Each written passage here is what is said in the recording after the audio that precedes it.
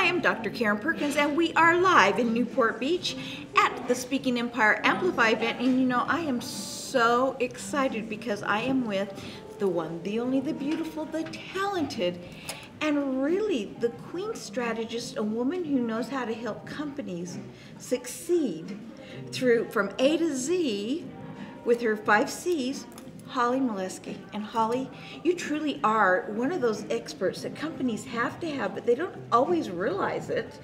So tell me a little bit more about what you do, why you got there. I know your story of why you got there and how important it is is fabulous. But what brought you to this and what is it that you do for people so that they have that better environment at work and more productive? Yeah absolutely. Thanks for having me here too. I so appreciate it. It's been really an honor. Um, you know i really have a passion for helping organizations and executives to really understand how to build a business that thrives where your strategy is, is being articulated in a way that actually inspires your employees to really want to be a part of it and own it just as much as you do. And there's a lot of components around that.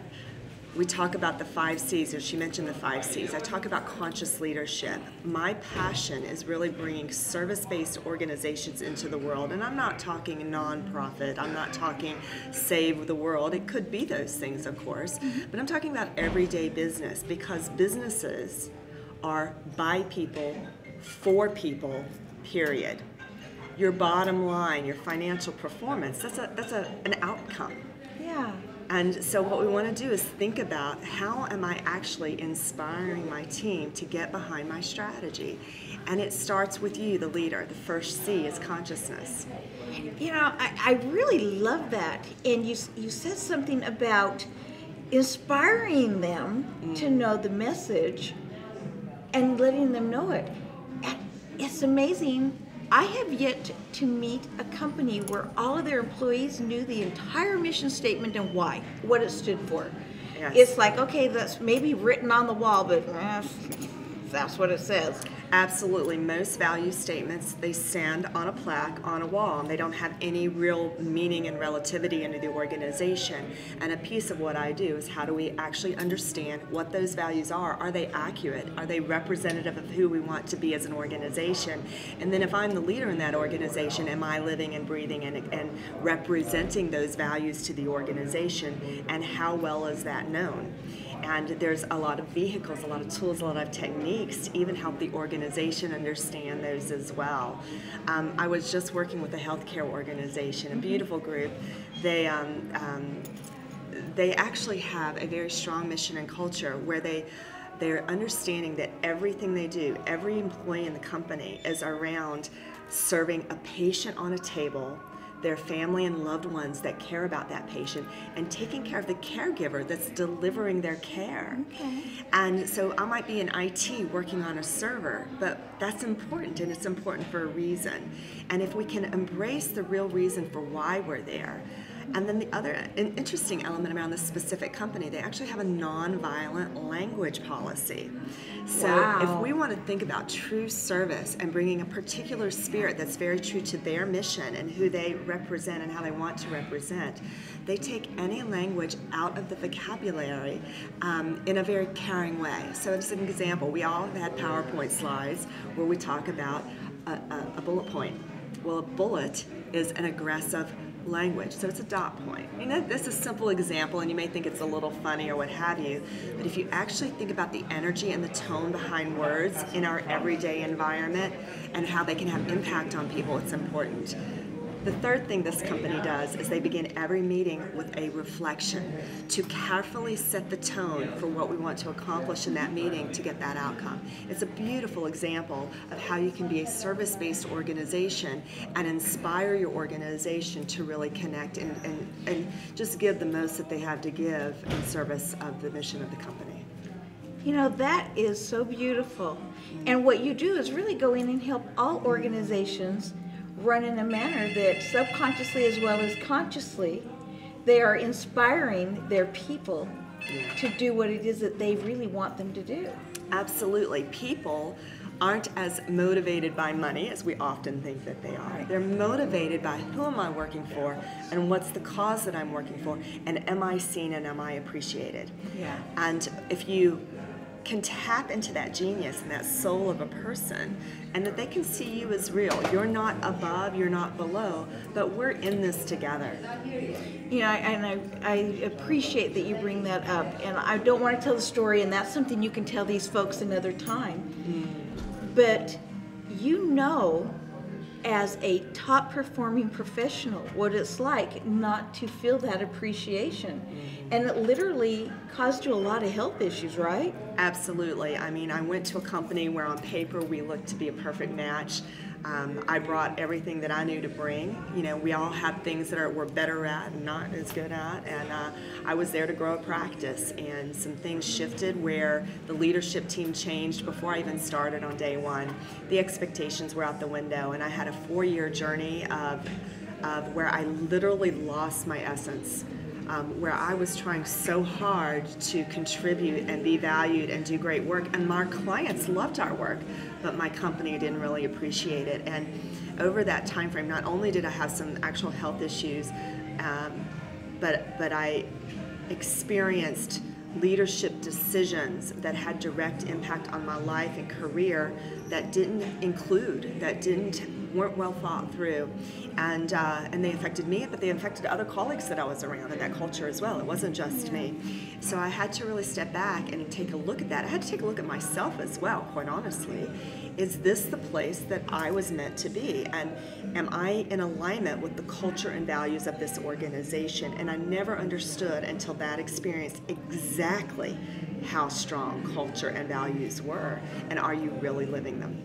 And you take that experience, which, you know, they say everything we go through actually helps us and other people. Mm-hmm. So you take that experience, as, as sad and unfortunate it was, but you know what needs to happen, and so you can, from a point of knowledge and a point of having been there, done that, make these changes and help these folks to become the kind of leader they need to be.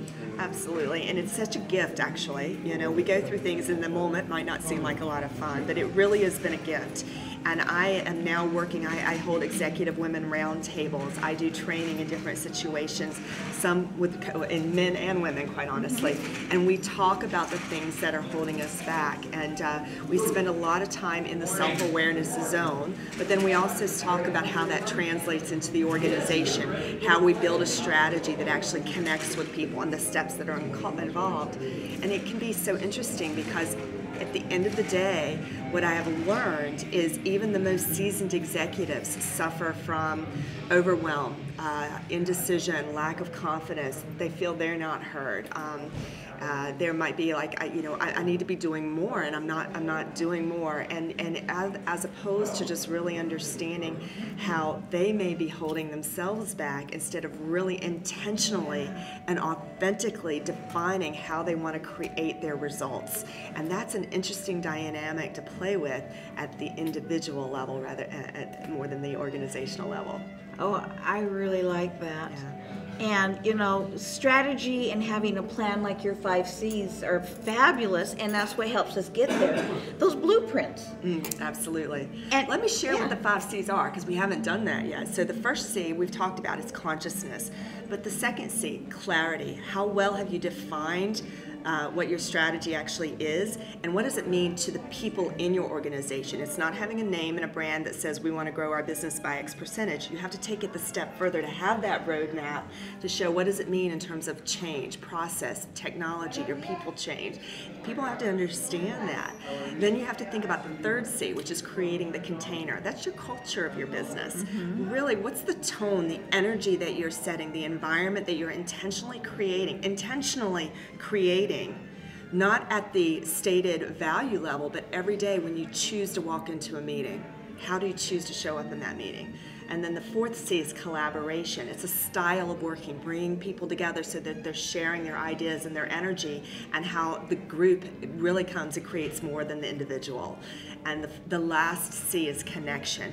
How do you and I connect? How well do I understand your talents? What you care about, what is important to you, not only in work but in your life, and mm-hmm. how do I let you see me as human as well. We build a trusted relationship that actually allows us to be in this together. Oh, that is wonderful. That's a great blueprint. Mm. And you all need to have a blueprint. And you know, that comes back and reminds me of the event we're at here. I mean, Dave's got his awesome That blueprint. They've got a lot of strategies. Yes. But you know, we are at the Speaking Empire Amplify event. If you were to give me oh, one wow you've gotten so far, and I know that's hard because there's many, but one wow, what would it be? You know, I am so grateful to be here. This has been a fabulous event. I've been to several, many as I've been moving from being a corporate person to an entrepreneur. That's been a learning curve, right? So I've looked to other people to learn, to, to understand, to grow my skill sets. And not only is there a clarity of, of blueprint, if you will, that they provide with the information. But this session has been truly a working session. It's not where people tell you a concept, they actually give you tools and mechanisms to work through. But even beyond the value that that can create, there is a real synergy in my belief system with this team. And what has come through in every single moment with Dave and Dustin on stage mm-hmm. is the genuine sincerity and authenticity of being of service in their business and how you can be extraordinarily successful and do things bigger in the world. And that's really what high jump leadership is about as well. So I feel very aligned to be here and very grateful. I love that, and it, what you do with high jump leadership is really one of those things that takes people to their next level, their organization, therefore, to the next level, and their family and the people around them to a new level. Absolutely. So they all need those higher levels, so they need high jump leadership. Yes. So, Hollie, how do they find you? So you can find me. My website is highjumpleadership.com. There is a contact button that pops up there, so you can schedule time with me. Get on my calendar. I'd love to have a talk with you about you and your leadership style, or and your leadership needs, or your organizational needs. And I'm very happy to give you that time. Oh, I love it. Okay, so high jump leadership. Click on the button, have that conversation, schedule the meeting, and see if it's a fit. I hopefully she'll accept you as a client, but you'll always have somebody who has your back if she is somebody that works with you. I'm a committed person. And if you're interested in learning more about the five C's to conscious leadership, there is a free gift on the website as well. So you can download a nice little white paper that kind of gives you a little bit more around each of those dynamics. All right, we all need to know that. High jump leadership. Go download the, the five C's, schedule an appointment with Hollie. Hollie, it has been an absolute delight Thank you so and much. pleasure meeting with you Lovely and well. talking with you today. Thank you so much for your time.